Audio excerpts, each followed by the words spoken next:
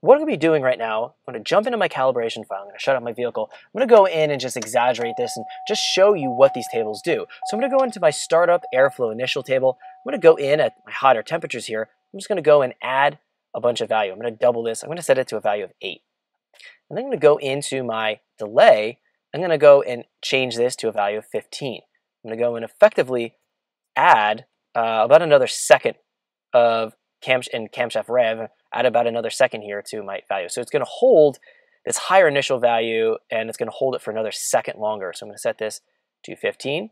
And then I'm going to go ahead and I'm going to flash my ECU right now and then we're going to be getting back into the scanner and then seeing exactly what this does.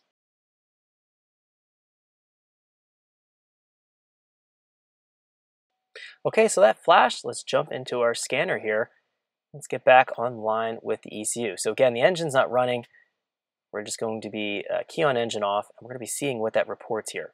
Okay, so now that we're back online here, we can see our idle startup airflow is at 22 pound per hour, and that's going to be increased from where it was before, and because we've raised that initial startup table, and we've also going to see that this is going to hang longer here at this value because we've increased that delay. So let's go ahead right now and fire up our engine and then keep an eye on the startup airflow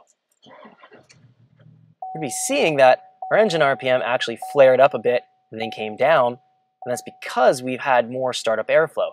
And it was just slightly, if we go ahead and stop it right here, and we play back through the data log, we can see that it flared up to right around 744, where before it went up to right around 600 and settled out, actually went up and then came down. So it had that effect of providing a, a flaring effect um, with the startup airflow. So on a big cam car, that's going to be something that you might